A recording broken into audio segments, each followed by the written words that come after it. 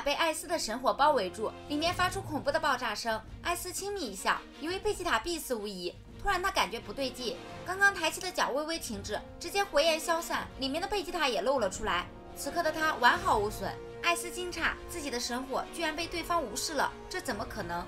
艾斯呼吸发紧。立即再度抬手，卷起一道火焰大浪，直接朝贝吉塔拍打过去。火浪坠落，直接炸开，火花朝四周溅荡。贝吉塔站在火花中心，面不改色。他故意嘲讽艾斯：“老头，你这点火焰……”连给我挠痒痒都算不上，比起龙熊的神火，差的可不是一点半点。贝吉塔抬手对着艾斯隔空一指，一股能量迅速朝着艾斯周身汇聚。艾斯急忙召唤出防护罩裹住身躯，随着一声巨响，气浪将周围艾斯发出的火焰骤然吹灭。贝吉塔嘴角冷笑，肮脏的烟火。艾斯的身影逐渐从烟雾之中显现，他身上的衣服碎裂了不少。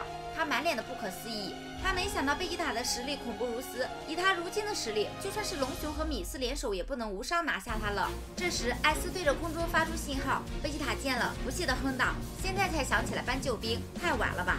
况且你那些酒囊饭袋的手下来了，也只能送死，有什么用呢？”不一会儿，又有两道人影出现在艾斯身边。出现的这两人让贝吉塔、九幽和悟空都惊讶不已。新出来的两人居然跟艾斯长得一模一样，加上刚刚那个艾斯，一共有三个艾斯，这到底是怎么回事呀？三人瞬间分散在贝吉塔的三个方位。悟空和九幽想要上前帮忙，贝吉塔厉声阻止。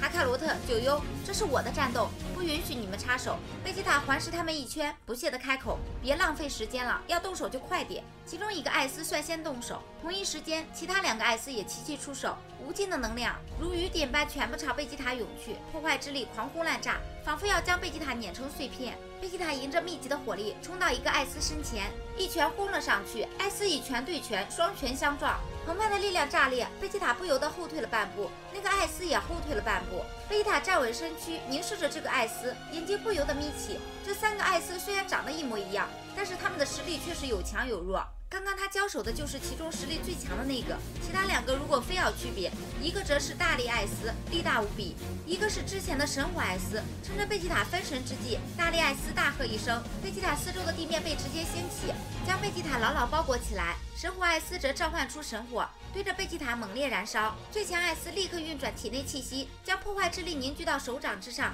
对着贝吉塔当空斩去。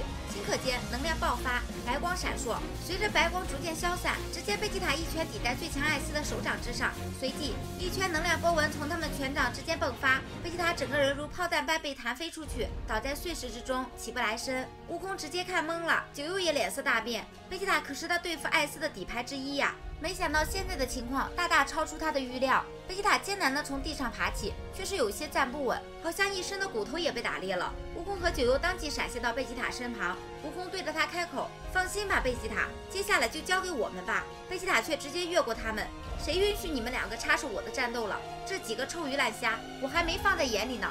你们快离开，否则我翻脸了。”九幽还要说什么？悟空拦下他，默默地带着他走了。他太了解贝吉塔了，或者说他们两个在面对战斗时都一样，除非被打到失去意识，否则不会让别人插手自己的战斗。最强艾斯冰冷地盯着贝吉塔，你还真有骨气，那我就满足你，这次彻底灭了你。他低喝一声，眼神一凛，闪现到贝吉塔身前，手刀朝着贝吉塔脖颈挥去，想要把贝吉塔的脑袋斩下。最强艾斯想要斩断贝吉塔的脑袋，就在这时，贝吉塔突然横臂而挡，剧烈的碰撞再度响起，贝吉塔的身形又飞了出去，重重的摔在地上。最强艾斯吃惊，他没有想到贝吉塔还有抵抗之力。贝吉塔狼狈的从地上爬起。尽管身上受伤不轻，可他的脸上看不到半点慌忙与恐怖，相反，他的眼里还荡漾着自信。最强艾斯脸色不太自然，他像是想到了什么，立即让其他两人跟他一起出手斩杀贝吉塔。但是这时，贝吉塔身上突然爆发出强大的气息，无数的火焰以他为中心向着四周爆发。神火艾斯和大力艾斯急急后退，抵挡贝吉塔的火焰。最强艾斯迎着火焰冲向贝吉塔，贝吉塔反手一拳砸来。力量再度对撞，这次贝吉塔没有后退。最强艾斯神色紧张，怎么贝吉塔的力量突然暴涨了许多？贝吉塔击退最强艾斯，轻轻摇了摇头，这就是十元大佬吗？真是让人失望呀！我以为你们会给我些乐子的，没想到我的弑神诀只是小小的施展了一下，就把你们吓成这样。大力艾斯怒斥道：“你少得意了，马上你就会死在我们手里。”贝吉塔转头看向大力艾斯，看样子我堂堂赛亚王子是被人看不起了呢。就让你看看我真正的实力呀！贝吉塔身形一闪，瞬间出现在大力艾斯面前。他掌中神火催动，顿时覆盖大力艾斯全身。大力艾斯在神火的燃烧下发出痛苦嚎叫。神火艾斯急忙赶来，想要为大力艾斯灭火。贝吉塔身形一动，拦在神火艾斯面前。你以为我会给你救他的机会吗？说着，他一拳轰向神火艾斯。神火艾斯祭出神火，想要抵御，可是贝吉塔这一拳力道之重，仅仅凭借拳风就轰散了他的神火，一拳直接从他胸口穿过。九幽和悟空看着贝吉塔这雷霆手段，都震惊不已。悟空更是骄傲地对着九幽开口：“这就是贝吉塔弑神诀的可怕之处。他之前之所以承受他们的攻击，是在汲取他们的力量。现在他利用神火艾斯的的神火打败了大力艾斯，用大力艾斯的神力打败了神火艾斯。当初我还想用困神功学习他的弑神诀呢，可惜贝吉塔这家伙太小气了。最强艾斯看到自己的两个兄弟瞬息之间都被消灭，他发出低吼，眼神狰狞，朝着贝吉塔冲了过去。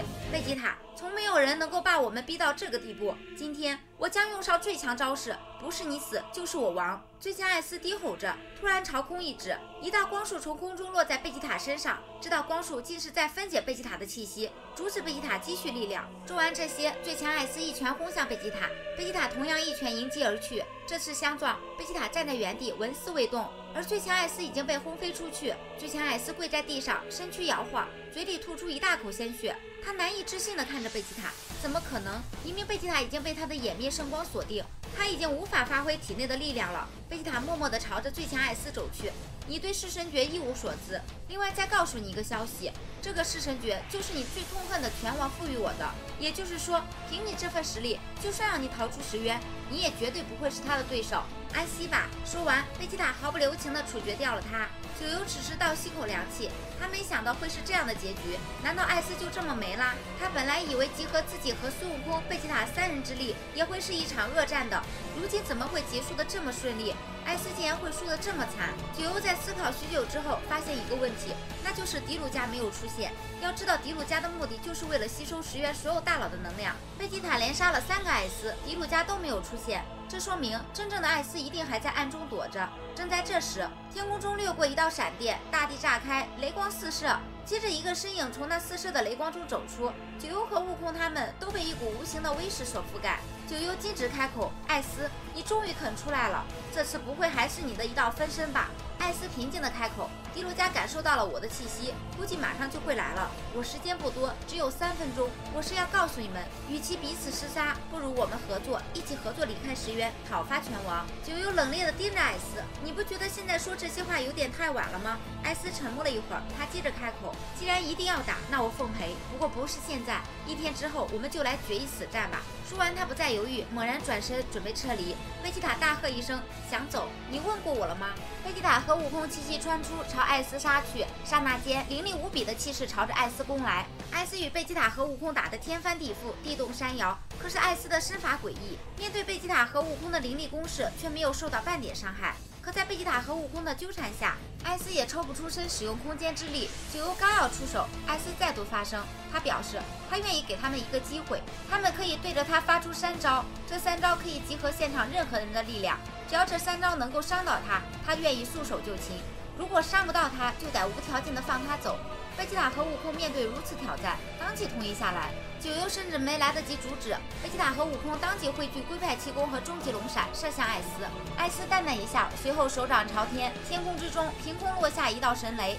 神雷汇聚在他手掌上，随后雷电倾泻而下，直接将二人淹没。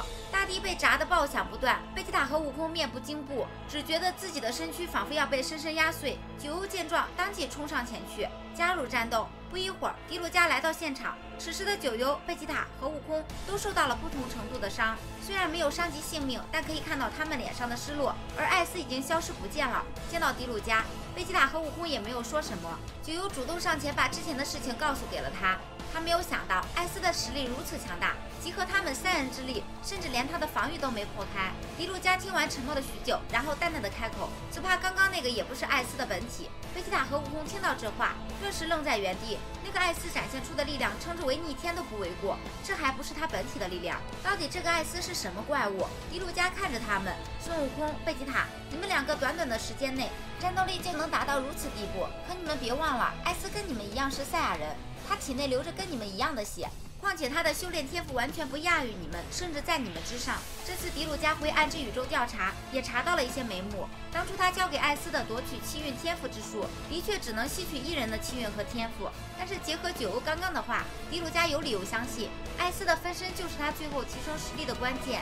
想到这，迪鲁加嘴角微微一笑，他看向贝吉塔和悟空，他有了一个新的想法。那么迪鲁加的新想法到底是什么？关注老贝，下期更精彩。